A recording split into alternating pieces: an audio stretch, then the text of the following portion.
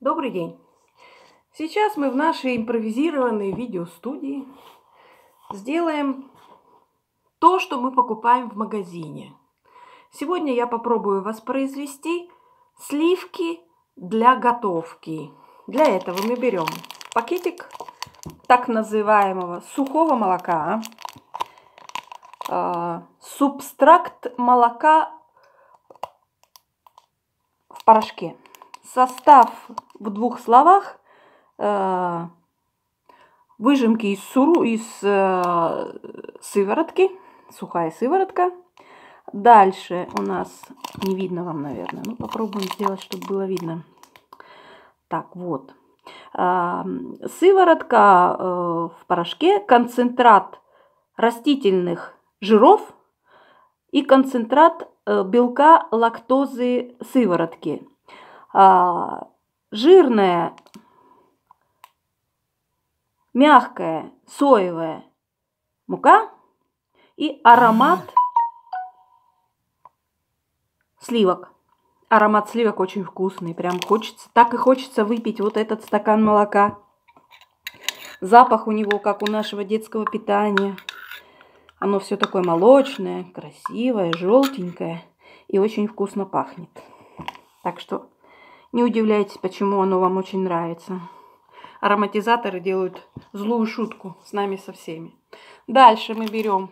Так, здесь у меня 2 столовые ложки на 100 миллилитров воды. Дальше мы берем обычное растительное масло. У меня было обычное подсолнечное. Так, погружной блендер. Наливаем то, что мы сделали. Начинаем У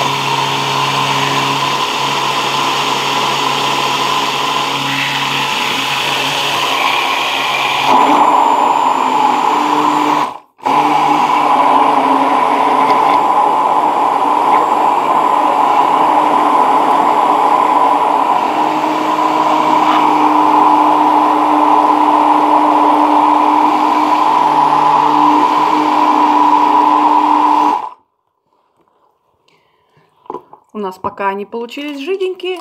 Мы можем добавить еще порошочка. Вот так. Оп. И продолжаем взбивать.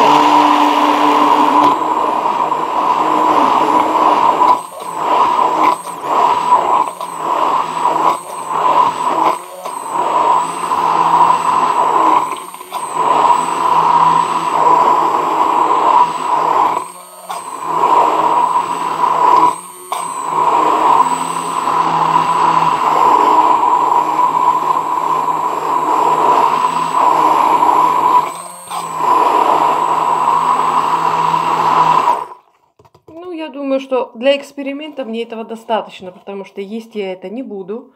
Принцип вам понятен. Вот у нас получились вполне себе сливки. Даже густые. Если добавить немножко больше порошочка, будет как раз то, что в магазине, когда ложка стоит. Вот, жирненькие, красивые сливки, не отличить. А какой запах! Вот так вот производят молоко не из молока. Привет всем!